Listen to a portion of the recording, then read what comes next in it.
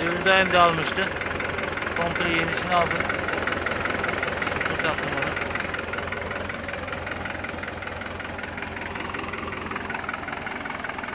onu. Ağacı tam toparlamadım. Test sürüşüne çıktım.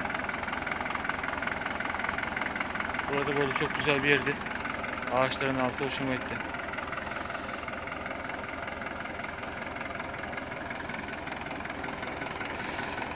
Şu mavi hortumun olduğu yerde arka tarafta filtrelere gidiyordu. Onu iptal ettim. Filtreleri ayakları e, patlamıştı. Direkt geçiş yaptım. Ve sorun yok şu an çalışıyor. Hatta önceden tekleme yapıyordu arada. Şimdi tekleme de yapmıyor.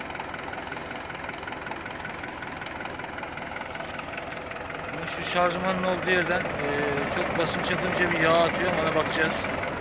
Sökeceğim orayı da sökeceğim daha.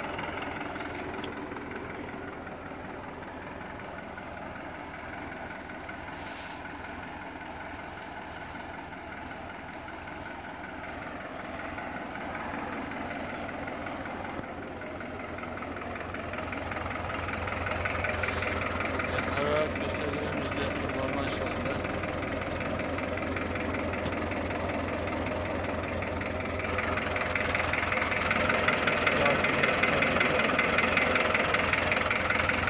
Büyük ihtimal keçisi herhalde yıpranmış. Değiştirmemişler keçiyi. Yeni bir keçi takacağım oraya. Saat tamam.